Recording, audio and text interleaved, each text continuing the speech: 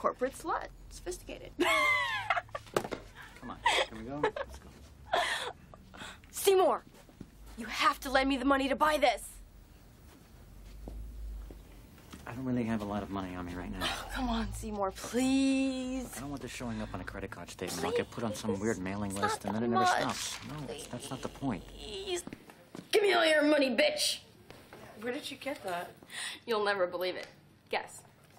Um, where? Anthony's.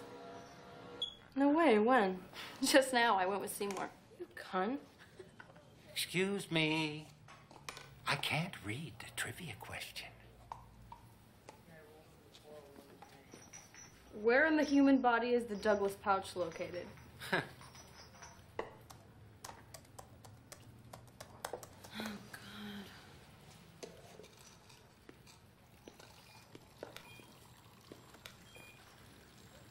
Slightly below the uterus on a female.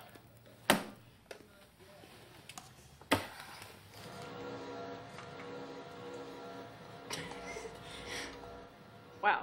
He does that every single day. I'll have a decaf mocha to go.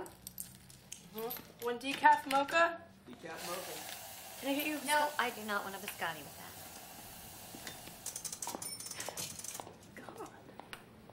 You stand all these assholes?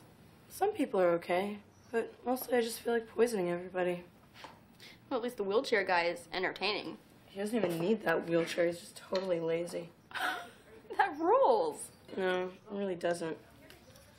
You'll see. Get totally sick of all the creeps and losers and weirdos. But those are our people. Yeah, well.